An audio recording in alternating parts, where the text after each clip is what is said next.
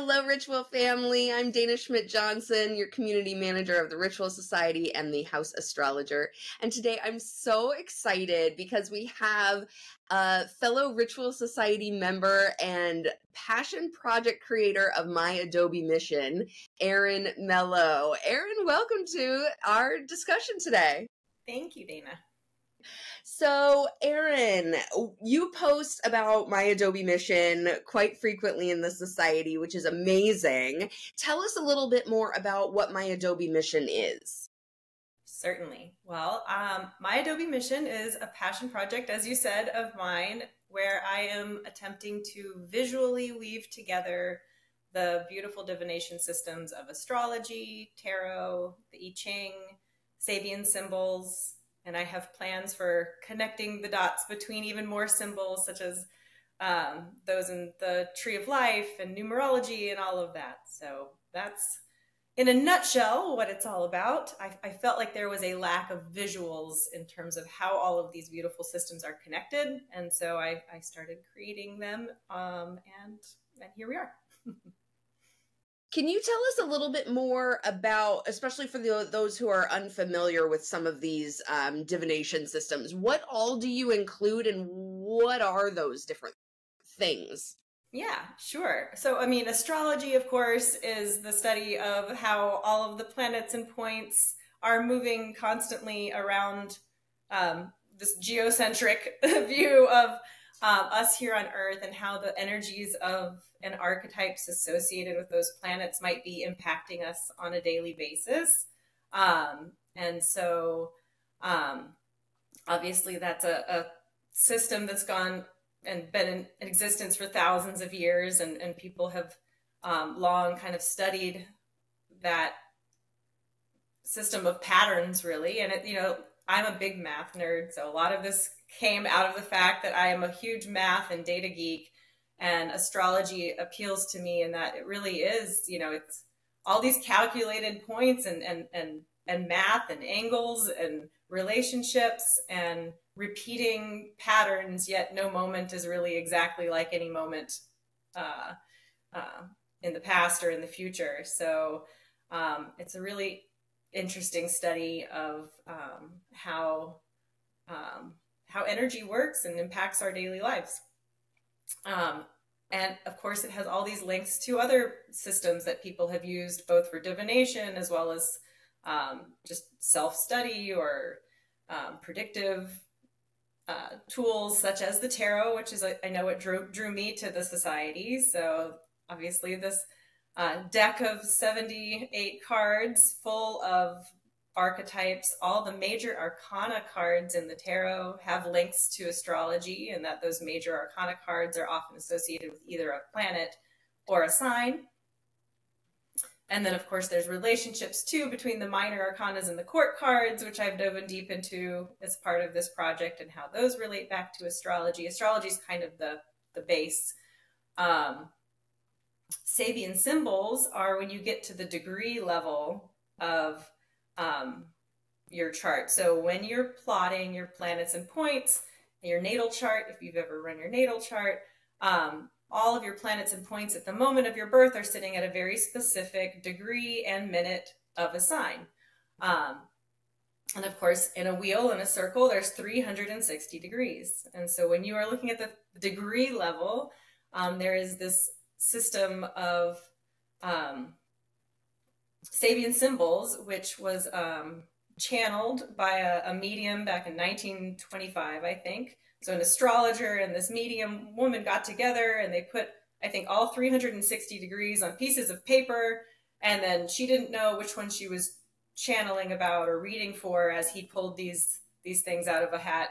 I might be getting the specific details wrong, but um, you know, she what she came up with were kind of just unique um, setting scenarios and pictures and images and you know things like a an eagle turning into a dove um, you know a flag on a ship you know very interesting strange little symbols. And so there's one for each of the 360 degrees and those sabian symbols um, there's several people who study those and um, the relationship that those might have to your specific points is what what drew me in was you know, realizing that's one way to understand your your chart points better. So, you know, you might want to start with your sun signs Sabian symbol and learn about the themes of that symbol and how that might relate to how um, that planet or point expresses itself in your life. And then the I Ching, of course, is a, a the, it's called the Book of Changes. It's a ancient Chinese uh, divination system that's been along, around possibly even longer than astrology. I don't know. I'm not a historian, but um, the I Ching is something I'd been working with even before I got into astrology. I'd um, picked up this oracle deck from a friend, um, the Tao Oracle. If anybody wants just a very accessible um, visual reference oracle deck for the I Ching, that's certainly one I would recommend. And it is composed of these six lines. So there's 64 hexagrams, each with six lines. It's these, hold this up a little bit, these little symbols there, um, which are just combinations of yin and yang lines. So the yang lines are the solid lines, the yin lines are the broken lines. And so when you figure out how many permutations there are of those lines, you get 64. Um, and so people work with that system in, in many ways. A lot of people use coins to um, throw the changes. So figure you, will you'll pull a hexagram, you'll learn about that the themes of that hexagram, and then you might want to see what's changing. Um, and so you throw some coins, or people have used sticks, and there's all kinds of other methods that have been used for thousands of years. Uh, when I work with this deck, I just take three pennies and I use that to to toss the changes, which is a fancy way of just figuring out which of those six lines, if any, might be changing. And if those lines change, then it changes that hexagram from one number to another. Um, so I've been working with that just kind of on a daily pull basis for a while. And then was fascinated when I started learning about my human design chart. So if anybody's familiar with human design, I think you guys have workshops on that as well. Um, but that human design system connects astrology, the I Ching. Um, it also connects kind of like the chakra system and, and other um, things like that. Um, when I realized that the gates in human design were what I'd been already working with with these hexagrams, I was like, ah, mind blown. And uh, so, you know, and they have one way of connecting it. So there's so many ways to work with these systems, and there's different methodologies and, and systems to connect them. But um, I've tried to take what's out there in terms of some of the more common links that people have made. So the links I make between the I Ching and astrology are the same that that the human design system does as well. So, you know, if anybody's deep into their human design, um, that's the connection I'm trying to make visually as part of my Adobe mission. There is so much that is encompassed here. I feel like you would have to study for lifetimes to understand it all. How long have you been studying all of these things? Honestly, I'm I'm actually quite a novice, and I mean, I'm I'm certainly not an astrologer for the last twenty years or anything. I've really only been studying these things deeply since really COVID time. So the last four years have been where I've gone real deep. Um, I'm a Sagittarius sun. Um, and I think that, you know, so higher learning and um, really, uh, you know, op, you know, the eternal optimist, the ardent seeker of truth, holding faith. These are things that um, have always been kind of core to my being. But um, I think, as is so common with people, um, I've had some major life changes since 2020. I think we all had some major life changes since 2020. And when those things happen, I think um, well, at least for me, it, it steered me towards a more uh, a deeper pursuit of these spiritual truths. Um, and um, so, really, only for the last few years have I been diving diving deep. I've always had a fascination for all things esoteric. I've always been a data and math nerd, so um, I've always been fascinated by these things. But I, I really haven't gone deep, and uh, except in the last few years. That is so cool. It's yeah, once we had the time in COVID, right, to be able to really dive deep and study these things, that makes a lot of sense. Um so how did you realize that all of these could come together in a visual way? What prompted you to really create my Adobe mission? Yeah, I mean, uh, I had been kind of collecting a binder of, you know, my natal charts, which, you know, if anybody's looked at an astrology chart, seen many of your videos, you know, the circle chart with all the glyphs and things. I'd taken a couple of online courses with some astrologers that I really um, enjoyed listening to um, who offered courses to kind of get the 101s. And I'm printing all of this stuff out and I'm putting it in binders and I'm asking my friends and family for all their birth details and putting it together. Um, I mean, it took the learning curve is steep. You know, learning just the glyphs. I mean, it took a long time before I'm like, is that a planet glyph or a sign glyph? And I'm getting them all confused. Um, but then when I'm realizing, oh, I mean, obviously the tarot is visual in itself, right? And so that was a beautiful tool to um, to start using and diving deeper. And then um, I, I, know I got the beautiful artwork from the Writual Society of those correspondences between the tarot and the the astrology, and I'm like, oh, that's so beautiful. I'm like, but like they were all kind of one-off little like there's a visual here for this, there's a visual here for this that takes a lot to learn those astrology charts. Um, you know, the visuals for the I Ching, I mean, I had the Tao Oracle deck, but the you know the individual hexagrams i wouldn't look at one and go oh that's 32 like what so um however you know in in this in studying the i ching deeper i realized that that set, those sets of six lines are actually two couples of three right so they're composed of two trigrams and the trigrams are just simple you know there are eight there's eight trigrams there's mountain there's earth there's heaven there's um I'm gonna miss them all. Thunder, you know, Lake. Um, and so there's eight of those, and I was like, but there weren't any other than just the the three lines themselves. There weren't a lot of systems that were visually making it obvious when you look at the six together. You know that this is lake above thunder, right? This is thunder above mountain, right? Um, I was like, well, let's create a simple visual for that, um, just to make it more recognizable when you're looking at one of the 64 what you're seeing um, so I, I, did that for my own just helpful guide um, and then um, the Sabian symbols there's this artist ruby fumitsky I probably am butchering her last name she's a japanese artist um, and she's amazing and she'd been she'd put all of these pictures together um, that i'd been um, I'd seen through James Burgess's website. He's one of the most world renowned astrologers on Sabian symbols, so I would follow his videos and his work. Um, and I was really moved by those pictures and, and wanting to connect the dots then between that and my chart. Um, you know, I just kind of started putting it all together, printing things out, and then realizing that, wait, nothing's just mashing them all together. So I like, oh, I'll create the assets myself and do it. So you did it. It didn't exist, so you did it for all of us. It's amazing. When you look at these charts, there is so much. So it's, you know, um, but you've also broken it down in a really um a nicely visual way that I think to your point, it's very easy to consume all of this information by reading and long, you know, prose and texts and things, but uh, a lot of us are visual learners. So that's really, really helpful. I'm curious how my Adobe mission has helped you and others better understand yourself.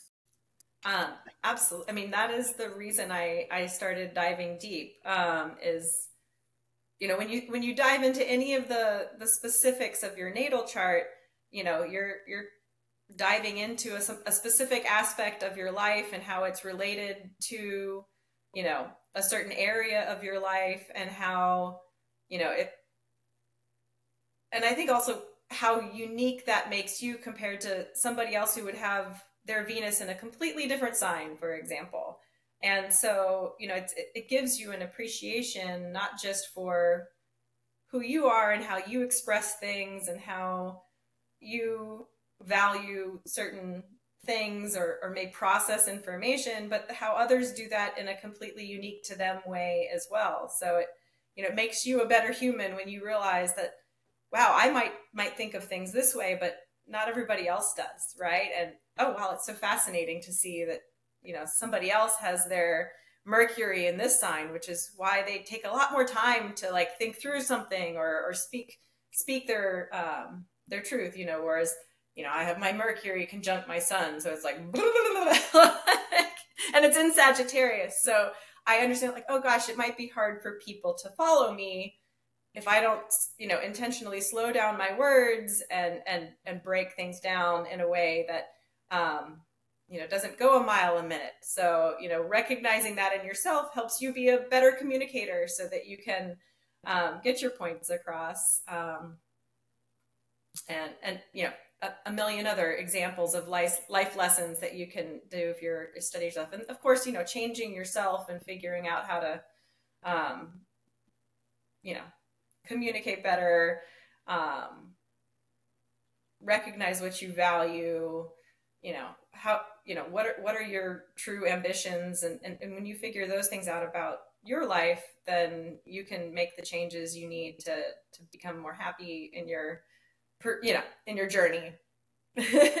so, um, you know, all we can control is ourselves. So I think it's really important to start with you. Um, but it also is very fun to see the links between um, between charts. So I, I, mentioned I gather everybody's details all the time, so I can um, find all these fun connections because you know it's amazing how you know in your network of friends and family how there's some seemingly very serendipitous or you know uh, synchronicities between charts, right? So oh my gosh, my uh, daughter's ascendant is my Jupiter to the exact degree, you know, and, and other just fun things that, you know, occur when you start comparing charts and um, helping you understand those relationships you have with, with people more deeply.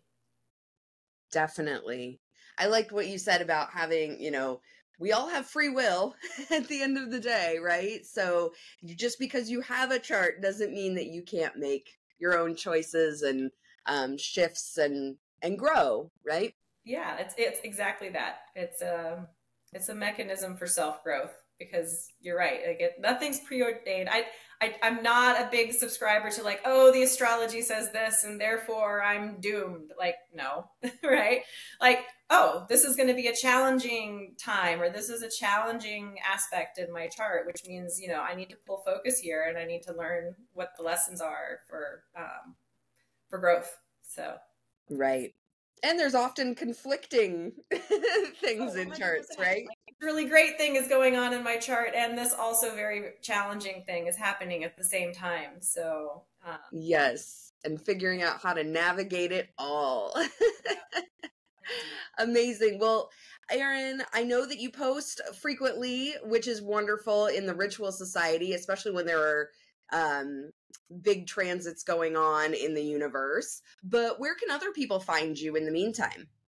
Yeah, I'm I'm probably most active on Instagram in terms of all the posts that I'll I'll, I'll throw into the Writual Society. You can find on Instagram at myadobemission.com. MyAdobeMission.com is the website, and at MyAdobeMission is the Instagram handle. Um, I do have a Facebook account too, but I really just cross post from Instagram to there. So um, those are the, the primary places they can they can find me. Perfect. We will be sure to follow you, and you will be coming into the society to teach all about my Adobe mission in July. We cannot wait. Uh, anything else that you want people to know about my Adobe mission? Um, well, I'll go much more in detail in the workshop. I'll give you guys a background of, you know, why I launched my Adobe mission when I did. Um, spoiler alert, Pluto has a lot to do with it. um, so I'll tell the, the mission launch story, um, and I will dive deep into the intention behind all the iconography that I've created. Um, so every little border and, you know, color and shape and, and thing that, that's gone into the different icons for the planets, the signs. Um, I will kind of give you guys a, a, deep dive overview in the workshop of that. Um, yeah, and I just am really grateful for the, the opportunity to, to present this in more detail to, to the society. Yes, I am really excited about it. It's going to help everyone um, know a little bit more so that when you post, it's like, oh, I get it now. I, totally understand fun. that it's overwhelming. It's a lot of a lot of different pictures and symbols that you know could just seem like complete information overload without some tutorials. So I'm grateful for the opportunity to help help break it down into more manageable chunks for folks. Amazing. Well, I can't wait. And we will see you in the society in July. Thanks so much for being here today, Erin. My pleasure.